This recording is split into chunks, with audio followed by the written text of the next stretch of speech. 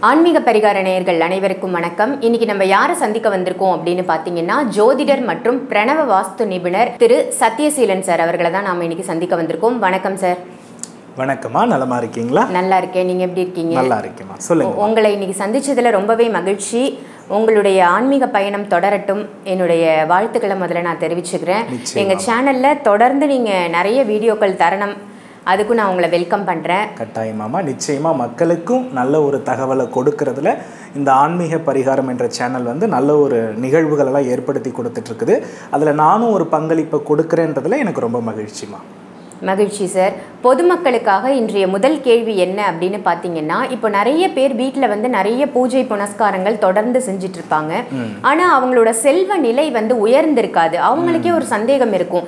எதனால நம்ம இவ்வளோ சாமி கும்பிடுறோம் இவ்வளோ தெய்வ வழிபாடு செய்கிறோம் ஆனால் செல்வ நிலை ஏன் உயராம இருக்கு அப்படின்னு யோசிப்பாங்க. அந்த மாதிரி இருக்கிறவங்களுக்கு அவங்க வீட்டு பூஜை அறை எந்த திசையில இருக்கணும் எப்படி அவங்க வழிபாடு செய்யறது செல்வ நிலையை உயர்த்தி கொடுக்கும்? ஓகேம்மா.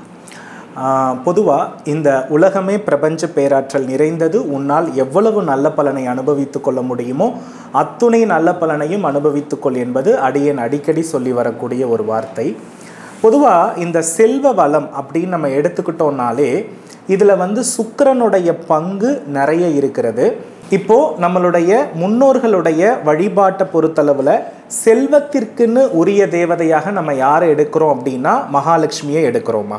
இப்போ இந்த இடத்துல வந்து பார்த்தீங்க அப்படின்னா எல்லா மனிதருடைய வாழ்க்கையிலுமே செல்வம் இருக்கணும்னா ஒரு வீட்டில் ரெண்டு விஷயம் முதல்ல முக்கியம். ஒன்று மனைவி ஆலோசகராக கணவன் கோபமற்றவராக இருப்பது மிக மிக முக்கியமான ஒரு விஷயம். ஏன்னா இன்றைக்கு ஒரு வீட்டில் சண்டை இல்லாமல் இருந்தால்தான் அங்கே வந்து சுக்கரனுடைய வசியம் வந்து அதிகமாகும் அப்படின்றது தான் யதார்த்தமான ஒரு உண்மை. அப்போ நிறைய பெண்களுடைய தேடல் செல்வத்தை ஈர்க்கிறத காட்டிலும் தன்னுடைய வீட்டில் முதல்ல சண்டை இல்லாமல் இருக்கணும் அப்படின்னு நினைக்கிறது தான் ரொம்ப ரொம்ப அதிகமான வழிபாடாக இருக்குது. இப்போ பிரணவ வாஸ்துவை பொறுத்தளவில் ஒரு மனிதனுக்கு செல்வ நிலை பெறணும் அப்படின்னா பூஜை அறை அப்படின்றது குரு பகவானை குறிக்கும். அதே போல சுக்கரன் என்ற கிரகம் யாரை குறிக்கும் அப்படின்னா இந்த இடத்துல தென்கிழக்கு திசையை குறிக்கும்.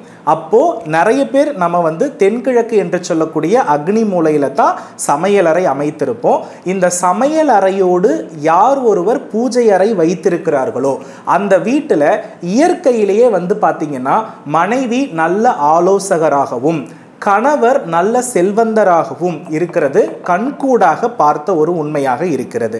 அப்போ சமையல் அறையினுடைய வடமேற்கு பகுதியை ஒரு பெண் பூஜை அறையாக்கி அதுல தினசரி வழிபாடுகளை செய்யும் பொழுது அவள்கிட்ட செல்வம் என்பது நிலைத்து நிற்கும். பொன் பொருள் வசியம் எப்பொழுதுமே சிறப்பாக இருக்கும் குறிப்பாக அந்த வீட்டில் சண்டை நடக்கிறது அப்படின்றதே குறையும் என்பது ஐதீகம். இப்போ செல்வத்தினுடைய வெளிப்பாடாக நம்ம எதை சொல்கிறோம் செல்வம் ஒரு வீட்டில் நிலையா இருக்குது தங்குது அப்படின்றத நம்ம எதை அடிப்படையில் வச்சு சொல்கிறோன்னா நோய் இல்லாத வாழ்க்கையை வச்சு தான் நம்ம சொல்கிறோம் அப்போது எந்த வீட்டில் நோய்களும் மருந்துகளும் நிறைய இருக்கிறதோ அங்கே சுக்கரன் வந்து ஆட்டோமேட்டிக்கலி கெட்டுட்டார் அப்படின்னு அர்த்தம். அப்போது இந்த தென்கிழக்கு திசையில் கழிவறையோ செப்டிக் டேங்கோ படியோ இருப்பவர் இருப்பவருடைய வீட்டில் அந்த பெண்ணும் நோயாளியாக இருக்கிறார் அந்த கணவன் அந்த பெண்ணுக்கு ஒத்து வராத ஒரு மனநிலை உள்ளவராக இருக்கிறார்கள். அப்போ இந்த அமைப்பு இருந்து கணவன் மனைவிக்குள்ள இப்படி ஒரு பிரிவு இருந்துச்சுனாலே அவர்கள் வந்து செல்வத்தை பற்றி சிந்திப்பதற்கு வேலையே இல்லை அப்படின்றத ஆணித்தனமாக நம்மளால சொல்லிட முடியும். அப்போ முதல்ல இந்த வாஸ்துல தென்கிழக்கு பகுதியில் இருக்கக்கூடிய இந்த தவறுகளை சரி செய்து பின்பு தென்கிழக்கு அக்னி மூலையில சமையல் அறையில பூஜை அறை வைத்த மாத்திரமே கணவன் மனைவிக்குள்ள ஒற்றுமை பெருகும் பணவரவு நல்ல நிலையில் உயரும் பொன் பொருள் சேர்க்கை என்பது மிக சிறப்பாக இருக்கும். அதுலேயும் குறிப்பாக சமையலறையில் வந்து பார்த்தீங்கன்னா பழனி முருகப்பெருமானுடைய படம் அல்லது அஷ்டலக்ஷ்மி மகாலட்சுமியினுடைய தனித்த படம். இதை வைத்து வெள்ளிக்கிழமைகளில் ஆறிலிருந்து ஏழு மணிக்குள் விளக்கேற்றி வழிபடும் பெண்களுக்கும் வெள்ளிக்கிழமைகளில் எட்டிலிருந்து ஒன்பது மணி வரை பால் பாயாசத்தை நெய்வேத்தியமாக செய்து அதில் குங்குமப்பூ கலந்து குடும்பத்தோடு பகிர்ந்து சாப்பிடக்கூடிய பெண்களும் கட்டாயமாக செல்வ நிலையில் உயர்ந்தே இருக்கிறார்கள் என்பதில் எவ்வித மாற்று கருத்தும் அல்ல. அப்போ செல்வ நிலை உயரணும் அப்படின்றதுல நம்ம நினைக்கிறதுல தப்பு கிடையாது. அது உயர்த்தி கொடுக்கறதுக்கு ஒரு வீட்டில் எந்த பகுதி காரணமாக இருக்குது? தடையாக இருக்கிறதுக்கு எந்த பகுதி காரணமாக இருக்கிறதுன்றத முதல்ல தெரிஞ்சுக்கிட்டு அதை அடிப்படையில் சரி செய்தாலே மிகப்பெரிய மாற்றம் என்பது நிச்சயமாக இருக்கும். அதே போல வீட்டினுடைய பூஜை அறையில் இந்த தென்கிழக்கில் அமைந்த பூஜை அறையில் ஒவ்வொரு ரேவதி நட்சத்திரம் வரும் பொழுதும் நாம் சுமங்கலிகளை அழைத்து பூஜை அறைக்கு முன்னால் நாம் வந்து பார்த்திங்கன்னா ஒரு ஆறு சுமங்கலி பெண்களுக்கு நம்ம வந்து இலை போட்டு விருந்து பரிமாறி அவர்களுக்கு மங்கள பொருள்களான மஞ்சள் குங்குமம் கண்ணாடி வெற்றிலைப்பாக்கு தட்சணையோடு தானம் கொடுத்து அவர்களிடத்தில் ஆசீர்வாதங்கள் பெறுகின்ற பொழுது கட்டாயமாக அந்த வீட்டில் படிப்படியாக செல்வ நிலை உயர்ந்தே தீரும். அப்போ நம்ம செல்வம் உயரணும்னா முதல்ல தென்கிழக்க தவறில்லாமல் பார்த்துக்கணும் அடுத்து கணவன் மனைவி ஒற்றுமை அடையணும் அப்படி அடையாத வீட்டில் செல்வம் தங்காது. அப்படி அடையிறதுக்கு தென்கிழக்கு என்ற அக்னி மூலையில் பூஜை அறையை மாற்றணும் அதற்கு பின்பு வெள்ளிக்கிழமை ரேவதி நட்சத்திரம். இந்த அமைப்பு வரக்கூடிய டைமில் அவர்கள் பெண்களாக இருக்கப்பட்டவர்கள் தொடர்ந்து பூஜை பண்ணணும். இது மூணு விஷயத்தை அடிப்படையில் கடைபிடித்தாலே மிகப்பெரிய நிலையில் ஒரு பெண் ஒரு தலைவியாகி மகாலட்சுமியாகி செல்வ வளத்தை அந்த வீட்டில் அதிகப்படுத்தலாம் என்பது கண்கூடா கண்ட உண்மைமா அதனால எல்லாருமே ஃபாலோ பண்ணி நிச்சயமா நல்ல வெற்றியை அடைவீங்க. சார் இப்போ நீங்க உங்க வாஸ்துப்படி பூஜை அறை வந்து கிச்சன்லேயே வச்சுக்கலாம் சமையல் அறையிலே வச்சுக்கலாம் அப்படின்ற மாதிரி சொல்றீங்க. இப்போ ஒரு சிறு சந்தேகம் என்னன்னு பார்த்தீங்கன்னா இப்போ பெண்களுக்கு அந்த நான்கு நாட்கள் மாதவிடாய் காலம் அப்படின்னு வரும் இல்லையா? இப்போ அவங்க கண்டிப்பா கிச்சன்ல போய் சமைக்கக்கூடிய சூழல் ஏற்படும். அந்த சமையல் அறையில பூஜை அறை இருந்தால் எதுவும் பாதிப்புகள் ஏற்படாதா? பொதுவாமா இந்த உலகத்தில் வந்து பார்த்திங்கன்னா இறைவனை தோற்றுவித்தவள் அப்படின்னு எடுத்துக்கிட்டாலே நாம் வந்து பெண் அப்படின்னு தான் நம்ம சொல்லுவோம்.